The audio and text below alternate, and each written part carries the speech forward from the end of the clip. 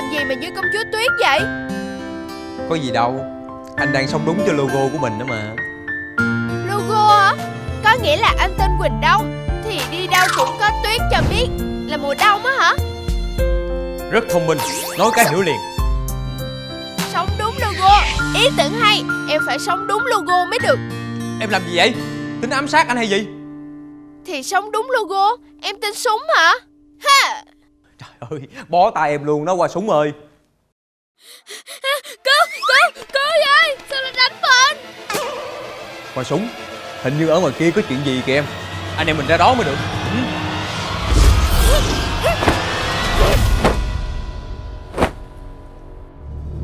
Rồi Kiểu này là nấm rơm xào với xả ớt luôn rồi. Xả? Em là hung thủ hả? Sao không biến mọi thứ thành bình địa hết trơn rồi? Sống đúng logo mà Em tên Xã Nên gặp là em Xã thôi.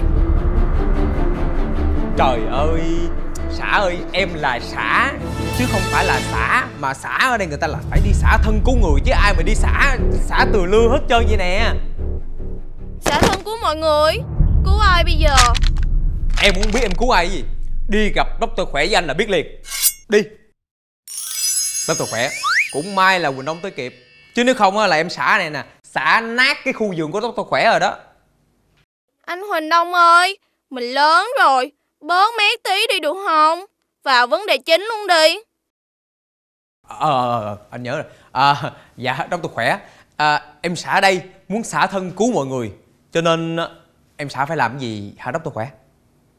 Cuối đông đầu xuân, thời tiết lạnh nên mọi người rất dễ bị bệnh cảm.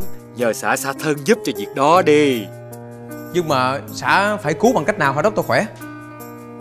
Xã vốn có vị cay, tính ấm nên là người bạn đồng hành với mọi người vào mùa lạnh.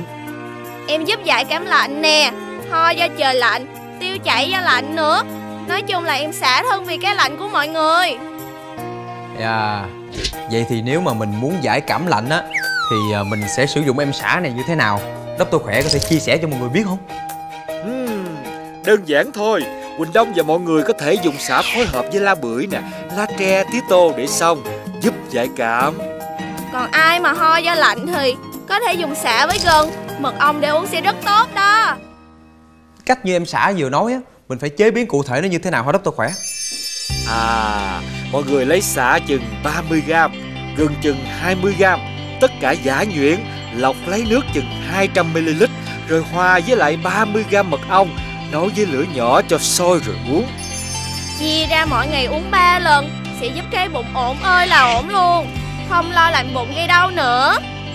Ha cha. Quý vị khán giả thấy không?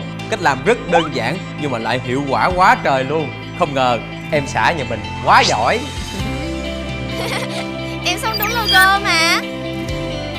À Nhắc tới logo anh mới nhớ nha Bây giờ mấy bạn nắm rơm nó bị như vậy rồi á Doctor khỏe. Mình phải xử lý em xã này sau đây.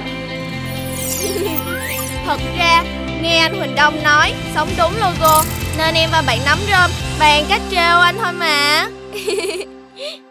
Gì? Trêu anh hả? Ha hay Được Được. Quá khen Quá khen. Xả, con đừng có chọc anh Quỳnh Đông nữa mà. Tchau!